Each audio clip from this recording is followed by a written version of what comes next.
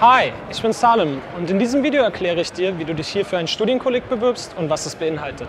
Du kannst dich für das Studienkolleg an der Goethe-Uni bewerben, wenn du laut Anabin einen indirekten Zugang zum Fachstudium hast. Wenn du jedoch einen direkten Zugang hast, kannst du dich gleich für das Fachstudium bewerben und brauchst das Studienkolleg nicht zu absolvieren.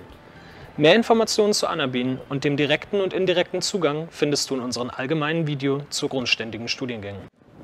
Die Bewerbung für ein Studienkolleg erfolgt gemeinsam mit der Bewerbung für einen Studiengang über UniAssist. Wichtig ist, ist, dass die Bewerbungsfrist der 15. Oktober für das Sommersemester und der 15. April für das Wintersemester ist. Am Studienkolleg in Frankfurt gibt es in der Regel 100 Plätze pro Semester. Darauf bewerben sich meistens über 500 Personen. Deswegen wird man nach einer Bewerbung zu einem Aufnahmetest eingeladen. Dieser C-Test fragt Deutschkenntnisse in schriftlicher Form ab. Am Studienkolleg in Frankfurt gibt es die vier Schwerpunktkurse G-Kurs für geisteswissenschaftliche Studiengänge oder Germanistik, M-Kurs für medizinische, biologische oder pharmazeutische Studiengänge, T-Kurs für mathematisch-naturwissenschaftliche oder technische Studiengänge, W-Kurs für wirtschafts- und sozialwissenschaftliche Studiengänge. Solltest du bei Anabin herausgefunden haben, dass du einen fachorientierten Zugang hast, kannst du dich nur für einen gleichen oder verwandten Studiengang bewerben.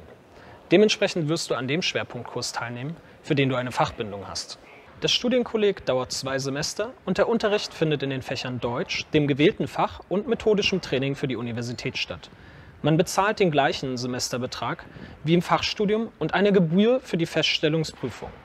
Wenn du diese Prüfung bestanden hast, kannst du dich für dein Fachstudium bewerben. Solltest du weitere Fragen oder Anliegen haben, zögere nicht, uns anzurufen, uns eine E-Mail über unser Kontaktformular auf der Website zu schreiben oder in unserer Sprechstunde vorbeizuschauen. Viel Erfolg bei deiner Bewerbung!